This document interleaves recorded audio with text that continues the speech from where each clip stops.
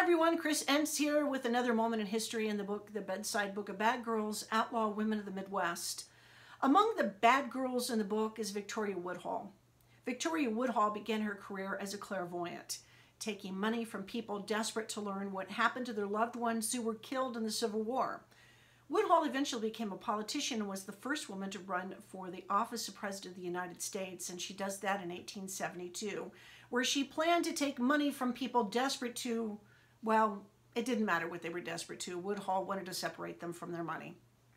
Woodhull was not the right person to be a leader. There are a lot of people in jobs where they shouldn't be in those jobs, though. I've been traveling over the last few weeks, and it seems the flight attendants get younger and younger, leaving me to think that they aren't the right people for the job.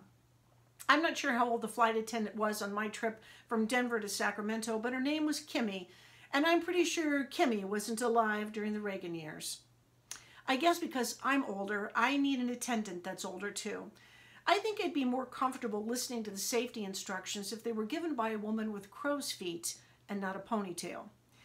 If they ever find anything on the plane that's out of order, I need someone with hose, heels, dress blues, someone that's dressed like a Marine, I guess. Kimmy was wearing a red t-shirt and a pair of khakis.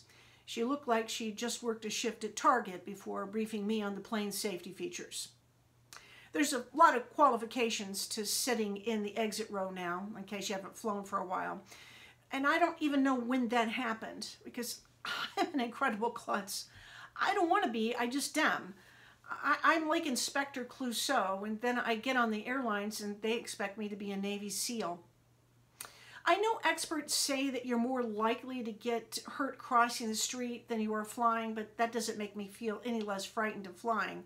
If anything, it makes me more afraid of crossing the street.